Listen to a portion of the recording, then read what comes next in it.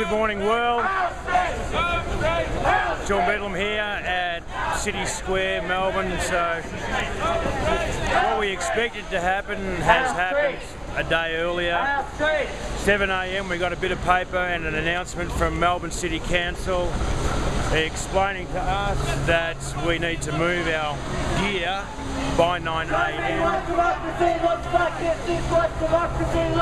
or the police will move in basically.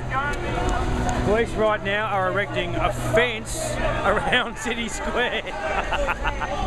so they're telling us so they're telling us that we have to go, but they're building a fence around us at the same fucking time.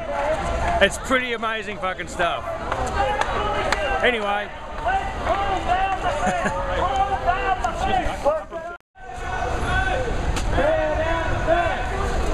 so,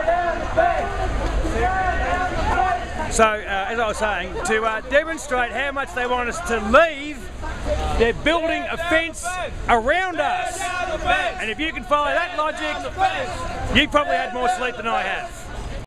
police state. We have the right to demonstrate. This is not a police state. We have the right to demonstrate. This is not a police state. Seriously, mate, how do you work that out?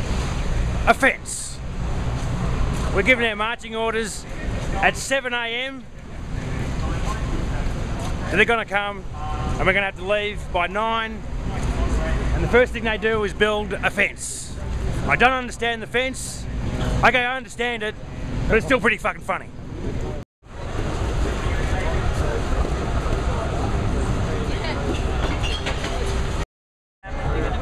We're going to try to keep things nice. We've got a legal support team. They're going to be, we've told the police as per the General Assembly, resistance, any resistance we may decide to undertake is going to be non-violent resistance. And we're asking the police stand off position.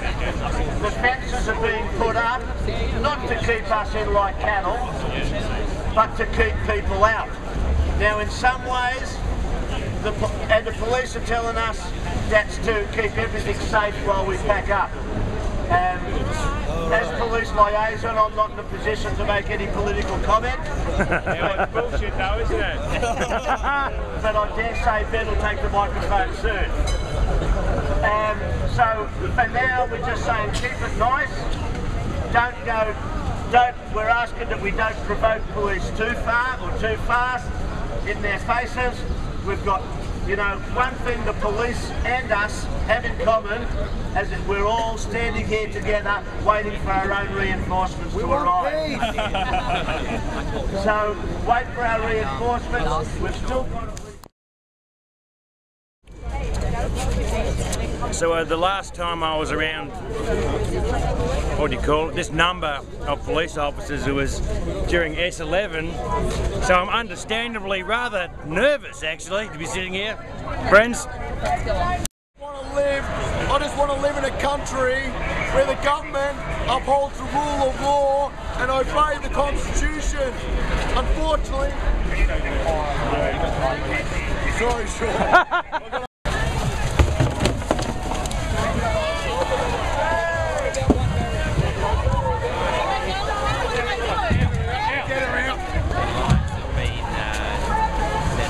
one of our people's just been taken out through the entrance.